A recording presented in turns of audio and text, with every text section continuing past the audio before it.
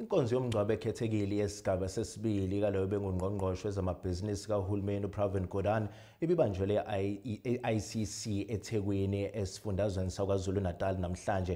uGordhan udlule emhlabeni ngolwesihlanu olwedlule eneminyaka engu-75 ubudala ngemva kokuxinwa umdlavuza. Ukushona kwakhe kwasusa inkulumo mpikiswano ezweni lonke ngokuziphatha kwakhe ngesikhathi engungqongqoshe wezamabhizinisi kahulumeni abanye bencoma indlela asebenza ngayo kanti abanye bemsola ngokuba imbangela yokubhuntsha kwezinye zezinkampani zikahulumeni. Iyaqhubeka inkonzo yokufihlwa kwaloyo owayengungqongqoshe wezamabhizinisi kahulumeni kuleli umnumzane uPravin Gordhan eThekwini. Kuleli viki umbutho ka-ANC uhlele izinkonzo ezimbili zesikhumbuzo kanti owayengungqongqoshe wamaphoyisa uchaze lo ngasekho njengeqabane elalela ukulingana kohlaka kuleli.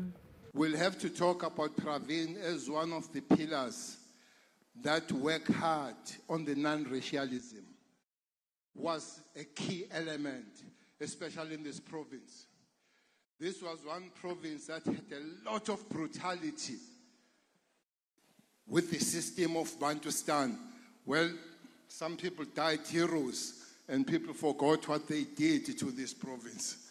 Khona manjalo ngunobhala walombutho esifundazweni sakwazulu-natal ubheki mtolo uchitheke abagxeka umufi Of course, he was vilified, but people have forget that he, he assumed that position uh, where most of the state-owned enterprises were on their, on their, on their end in terms of governance systems and all that. And you see, for example, an institution like Transnet is a very big state company. Mm, and then if you come for, for, for, for, for in that company has been mismanaged for years, uh, tr- uh, trust and all that, it will take you time uh, to, to, to reorganize it. ugodani udlule emhlabeni ngolwesihlanu olwedlule kulandela impi yakhe nesifo somdlavuza.